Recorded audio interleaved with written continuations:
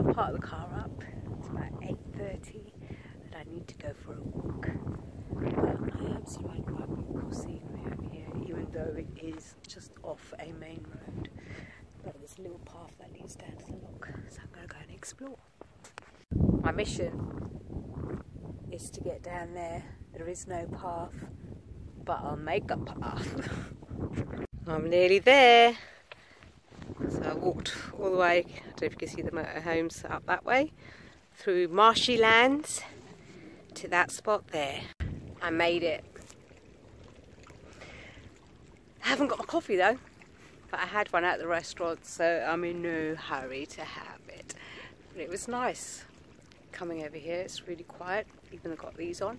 But I intend to do a bit of dancing over here. Actually, it's quite nice just to listen to the water hitting the rocks.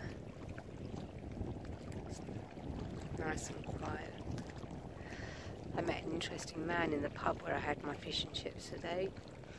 His name was Ian, a music composer. He looked about 85, quite an eccentric kind of character, long silver hair up to here. Chatting to him for a bit, and he was telling me about all these places that I can go and see and park my van, and that his bungalow was down here, and he's been here, and he's been there. He's been all over the place. Anyway, he gave me directions, I wrote them down, tried to look for it, and it didn't happen. So I just continued on. I thought, well, it's obviously not meant to be. In case he came at night and started knocking on my door. So yeah, maybe it wasn't meant to be. Um, so I found myself here instead, which was, it was just as good. I can't stop walking. I might just carry on down the road, do my thing.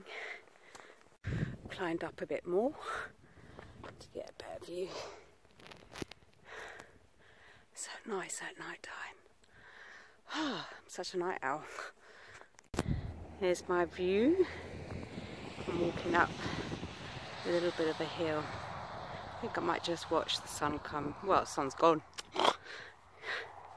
I'll just look at the sky. it's about 10 o'clock and I really don't want to go back into the car because I was dancing on here. Hence these. Everywhere I've gone around the Highlands, I have danced. And people must be thinking, she's a no. but I'm just enjoying the environment, soaking it all in, and dance and music, walking, it does it all for me, and doing it in nature. Tell you, it's the best. Open your arms up and embrace the wind, embrace the nature with the music in my ears and side to side. Guess what I've got in my hand? Coffee. Sat outside. Can't go in the van. Six o'clock in the morning. Woken up to hear this.